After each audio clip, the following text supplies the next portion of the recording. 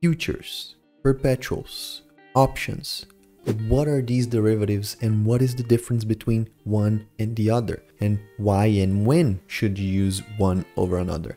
Well, this is what we're gonna figure out in today's video. Welcome everybody. Today, as mentioned, we're gonna be diving deep into the derivatives market. We're gonna understand what are these derivatives and how you can use them to make money. If you follow the channel, you know that I like to talk about options, which is one of the three derivatives that we're gonna be covering in today's video. But a lot of people don't really understand the difference between options, futures, and perpetuals and when to use one over the other. So today we're gonna briefly start to understand these these derivatives and how do they work. So let's start with futures. Futures are very common probably the most common derivative that we have in cryptocurrency. We also have futures in the stock market. We have futures for a lot of commodities. So it isn't a crypto thing and it isn't new either. But futures became uh, very popular in crypto just because of how easy it is for the user to simply open a long or short position and profit with market movements. When we talk about the derivatives, all these derivatives are contracts. So imagine me and you are two people and they have a contract. They have an agreement between these two parties and this agreement is usually regarding an underlying asset. So for us, it can be Bitcoin, Ethereum, Solana, whatever token it is available for you to trade futures on. And in this contract, you have a, an expiration date between these two parties and this contract obligates the buyer to buy this underlying asset at the expiration of that contract itself. It sounds a little bit complicated, but what actually ends up happening is that the buyer of this uh, contract is using this contract to speculate on the market on the underlying asset. So for example, you're gonna buy a contract for a long position on Bitcoin. So you're gonna go to your protocol of choice and you're gonna select Bitcoin, you're gonna select long and you're gonna open a position, meaning that you're a buyer of this long contract. And most of the people are not interested in buying or selling Bitcoin at a specific price way down the line, which is usually in three months, so quarterly. So people don't really use these futures this way. They use it to profit when the underlying asset moves in their favor, so moves in a certain direction. If you're long, you want the underlying asset to go up, and if you're short, you want the underlying asset to go down. So as we mentioned, these futures have expiration dates, which mostly are quarterly, and they do offer the ability for the user to leverage. So let's say you have $1,000 in these future contracts, you can actually leverage it sometimes 10, 15 or 100x the value that you have. So for example, on Binance, you can leverage Ethereum or Bitcoin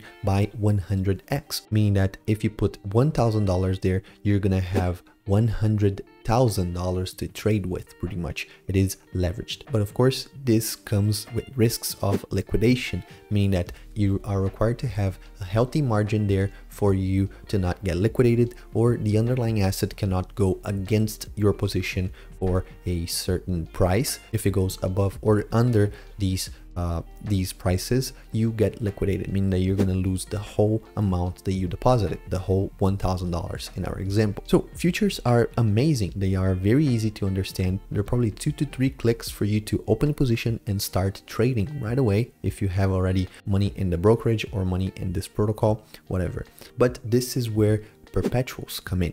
Because with perpetuals you don't have the expiration. So instead of having the expiration that can be quarterly or whatever other um, expiration that the protocols offers you don't have an expiration. You're pretty much um, ready to go and keep the position open for as long as you want. Of course there are some caveats. You also need to have a margin and there's also a funding rate that you need to pay attention of. But it is indeed a very very profitable way for you to speculate in the market, especially if you want to keep these positions open for a long time. So you just simply open a perpetual contract and you just simply wait it out until you can close it for profit as long as you stay inside the health factor needed to maintain your position open. So that sounds too easy, right? Then why are people using options? Why am I using options, for example? Well, options are also derivatives and they are also contracts, but they are more complex, but complexity comes with a bonus, meaning that you can make a lot more money than with futures if you get to understand this complexity and you are a little bit more of an advanced trader. So in my case, I pretty much just sell options, meaning that instead of me having the uh, right but not the obligation of selling the underlying asset, I actually have the obligation to sell that underlying asset if I get exercised uh, with this contract, if this contract get exercised. Of course, with crypto option, it is still a very new thing. Most of these protocols don't use the underlying asset at all. It is just cash settled. So these assignments, they all happened in USDC or whatever other stablecoin.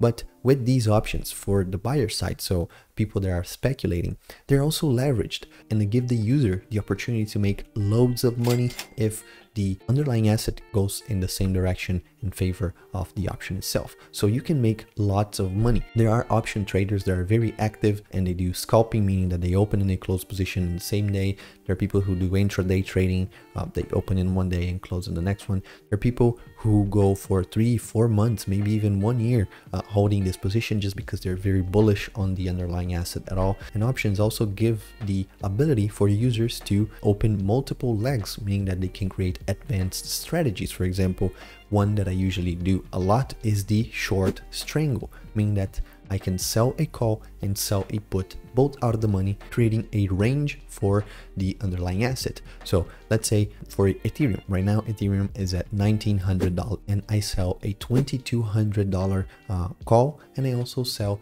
a $1,400 put. I collect the premium for both of these because I am a seller. I sell it to someone, so I collect that premium for myself and I get to keep that premium.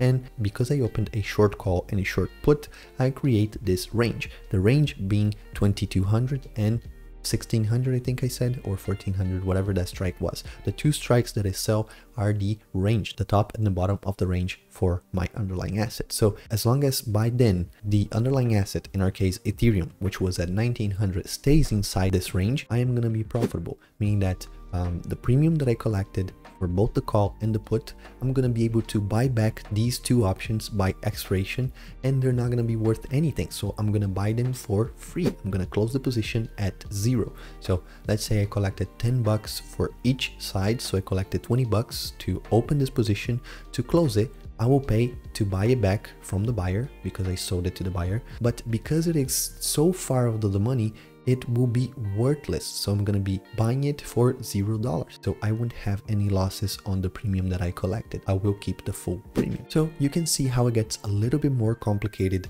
with options compared to the uh, how easy it is for you to open a position on a perpetual or with futures. You can simply think, is it going to go up or down? I just open a long or a short position and I can make money on both sides of the market. So perpetuals and futures are very, very simple. And this is something that I want to focus here because as much as the uh, tool itself is simple doesn't mean that trading or predicting the market is simple as well. That's why we see a lot of protocols that are very, very profitable because they are uh, futures protocols or perpetual protocols and people can just go there and trade these derivatives. But if you actually look at the statistics for these protocols there are a lot of losers and very few winners.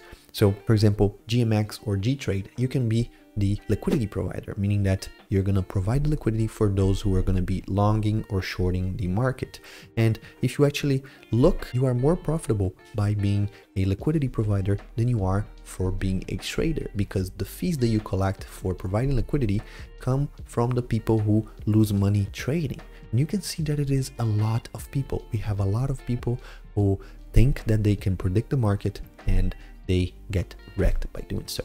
And this is where options, at least for me, my strategy, my winning strategy, makes a lot of sense because when I sell an option, I don't try to predict where the market is gonna go. I try to predict where it won't be, which seems contradictory, but it is actually easier because you don't need to be a genius to read a chart. You don't need to have paid indicators. You don't need to be a guru of trading. You just need to look at a chart. You need to have just the basic understanding of support and resistances and you can open a short position that will be very very safe by using the greeks by using indicators by reading the news about the market so, so once you get a little bit more advanced into the trading you will see how options offer way more upside uh, with way less risks than future does. And you understand that the majority of these people who trade futures are not actually profitable and they're just trying to become rich quick most of the time.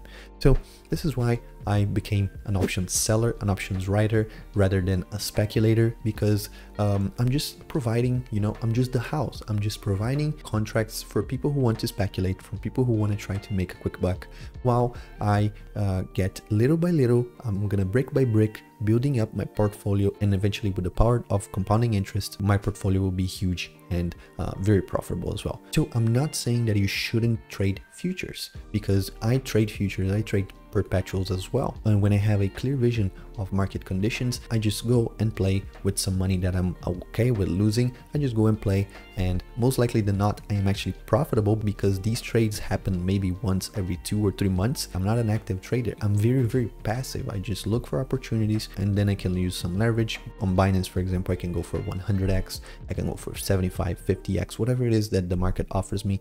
And I can profit from these very few occasions where the market is very easy to read. For example, in the Arbitrum launch, I did profit both on the long and on the short for the ARB token because right at the beginning I opened it long and made 75% I think on the single trade and then I also made another 40% on the downside because I opened a short position right after. So you can see how that can be profitable once you uh, understand market movements or there are very clear market movements uh, but other than that, I just stick to my options trading, my options writing. If you want to know a little bit more about options writing, just scroll down a little bit. It's going to be the first link in the description is my Udemy course. It is very cheap and I think it will pay out by itself in a couple of weeks if you decide to join us. So I hope this was insightful and you understood the difference between futures, perpetuals and options.